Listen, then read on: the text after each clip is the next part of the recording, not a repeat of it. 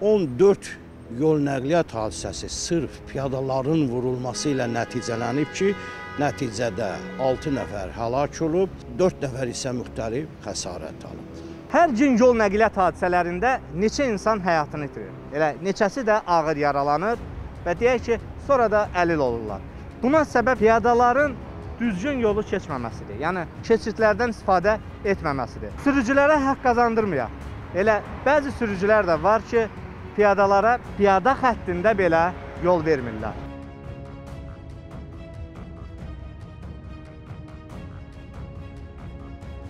Elə sürücülər var ki, sərnişinlərə yol vermirlər, imkan vermirlər ki, keçsin, getsin. Piyadalara, bəli. Var elələri. Yol nəqliyyat hadisələrində piyadalar səbəbkardır yoxsa sürücülər? Birinci növbədə piyadalar. Hara hara keçirsən? Yolu keçmə, yolu keçmə, təhlükəlidir, keçmə.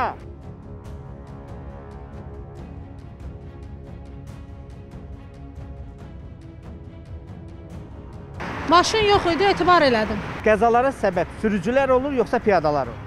Ə, Məncə piyadalar olur, çünki ə, piyadalar yola baxmadan yol keçirlər. Sürücülərdə günah var, çünki daha ə, sürətli sürürlər bu yolda. Hardan keçdi? Ben orada aralardan bir tər gördüm ki maşın yoxdur. Nə o tərəfdən gəlmir, nə bu tərəfdən gəlmir. Camaat da keçənlər də var idi. Mən də onların dalınca keçdim. Açığı sizə deyim. Aha. E, ora Yəni maşının yol boş idi, siz yol keçdiniz. yol boş idi, adamlar da keçirdi. Onların dalınca keçdim. Piyada xəttindən istifadə edən.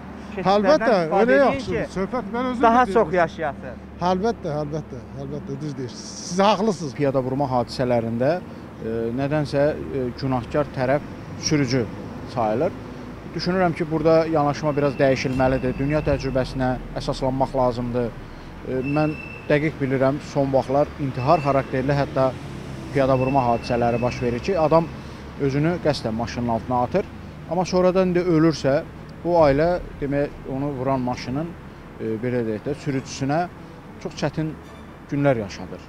piyada tərəfindən e, piyadalar üçün müəyyən olmayan yerdən keçmə halları sürücünü tamamilə məsuliyyətdən azad eləyir. Yəni e, qətiyyən belə təsəvvür yaranmamalıdır ki, yəni piyada əgər piyada zolağından kənarda yolu keçirsə onu mütləq vurub öldürmək olar və buna görə heç bir məsuliyyət e, daşımaq tələb, yəni daşınması qanunda nəzərdə tutulmur.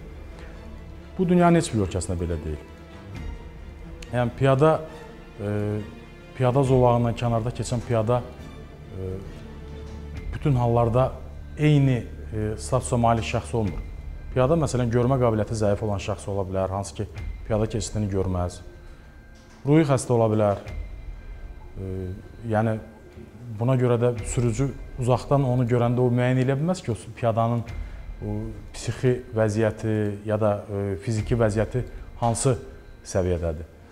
Ona görə e, sürücülər hər bir halda imkanları daxilində yol nəqliyyat hadisəsinin baş verməsinin qarşısını almaq üçün e, bütün imkanlardan maksimum istifadə etməlidirlər. Deyək ki, yük maşınının arxasından piyada qəfildən çıxırsa və bu qəfildən çıxma əgər sürücünün həmin maneəyə çatmasına bir 2 metr qalmış baş verirsə, burada əlbəttə sürücünün məsuliyyətinə söhbət gedə bilməz. Yol nəqliyyat hadisələrini təhlil etdikdə günün qaranlıq vaxtı hadisələrin daha çox baş verdiyini şahid oluruq. Əlbəttə ki, işıqlandırılmayan ərazilərdə eləcə də piyadaların e, işıq qaytarıcı əşyalar üzərində olmadığı halda da vurulmasının da şahidi oluruq.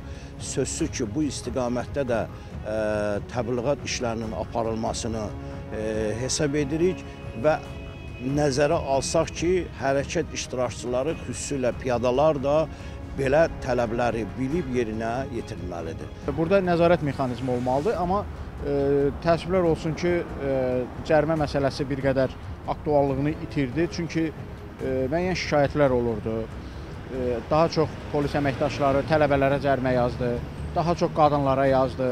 Digər neqativ hallar ortaya çıxdığına görə postpatrul xidmətindən yol polisinə ezam olunan əməkdaşların ezamına xitam verildi. Onlar qayıtdı öz xidmət yerlərinə.